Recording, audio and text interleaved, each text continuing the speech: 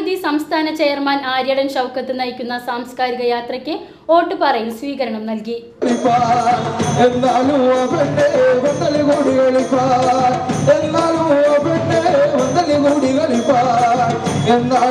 Advocate Eldho പൂക്കുന്നലിനെ ക്ഷണിച്ചോളും.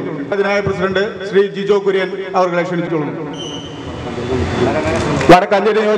Gandhi India ജ്വലിക്കട്ടെ ഗോഡ്സെ ചിന്ത മരിക്കട്ടെ എന്ന മുദ്രാവാക്യമുയർത്തി ജനുവരി മുപ്പതിന് കാസർഗോഡ് നിന്ന് ആരംഭിച്ച കലാജാഥയ്ക്ക് സാംസ്കാര സാഹിതി വടക്കാഞ്ചേരി നിയോജകമണ്ഡലം കമ്മിറ്റി ഓട്ടുപാറയിൽ നൽകിയ സ്വീകരണം പ്രശസ്ത സിനി ആർട്ടിസ്റ്റ് സി രമാദേവി ഉദ്ഘാടനം ചെയ്തു.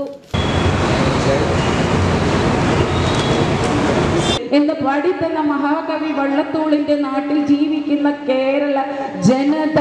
ഇന്ന് കേരളത്തിന്റെ അരക്ഷിതാവസ്ഥ ദുസ്ഥിതി മനസ്സിലാക്കുമ്പോൾ ലജ്ജ കൊണ്ട് തല കുനിക്കേണ്ട ഒരു സ്ഥിതിവിശേഷത്തിലാണ് പോയിക്കൊണ്ടിരിക്കുന്നത് എന്ന കാര്യത്തിൽ യാതൊരു സംശയമില്ല ഈ നില നില തുടർന്നാൽ നവോത്ഥാന കാലഘട്ടങ്ങളിൽ തുടങ്ങിയ കലാകാരന്മാരുടെ പ്രയത്നങ്ങളൊക്കെ വെറും വെള്ളത്തിൽ വരച്ച വരയാവും എന്ന കാര്യത്തിൽ യാതൊരു സംശയമില്ല കൂട്ടരെ എത്രയെത്ര മഹാരാജന്മാർ നമ്മുടെ സാംസ്കാരിക നായന്മാർ അവരുടെ സർഗാത്മക സൃഷ്ടികളെ കൊണ്ട് നമ്മുടെ ജനങ്ങളെ ഉത്ബോധിപ്പിച്ചിട്ടുണ്ട്.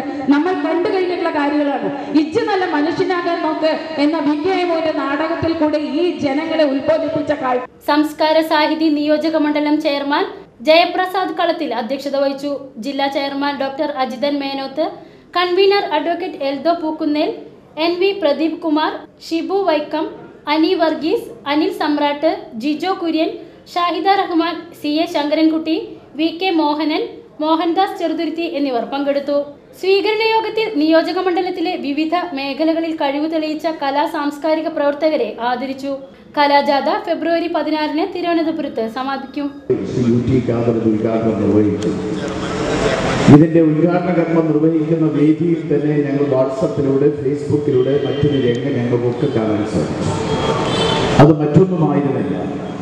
ഗാന്ധിയുടെ പടം വെച്ച് ഗാന്ധിയുടെ പടത്തിലേക്ക് വീണ്ടും ഹിന്ദു മഹാസഭയുടെ ദേശീയ സെക്രട്ടറി പൂജ ശുഭൻ പാണ്ഡെ ഗാന്ധിയുടെ പടത്തിന്റെ നെഞ്ചിലേക്ക് വീണ്ടും വീണ്ടും വെടിയുതിർക്കുന്ന കാഴ്ച ഞങ്ങളൊക്കെ കണ്ടു.